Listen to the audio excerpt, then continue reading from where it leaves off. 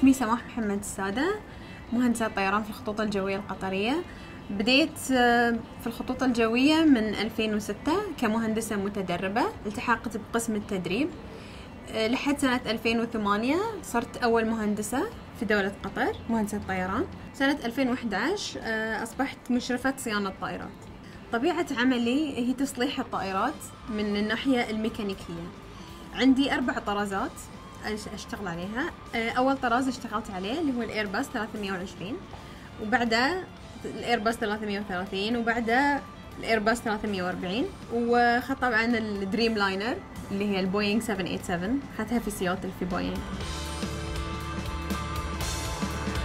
اخترت صيانة الطائرات لأني لقيت نفسي فيها مع أن واجهتني صعوبات في كيفية الدراسة وفهم الميكانيكا والتقنيات الميكانيكية والأجواء الحارة. بس مع ذلك الاستمتاع بالعمل ما خلاني أشعر بهاي الأشياء. يعني كانت أشياء ثانوية بالنسبة لي.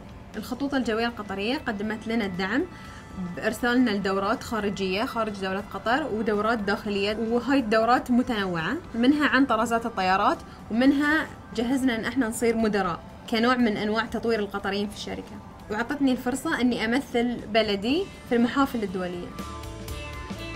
من ضمن الإنجازات اللي حققتها في دولة قطر إني رحت استلمت الطيارة المئة في مصنع البوينغ في سياتل.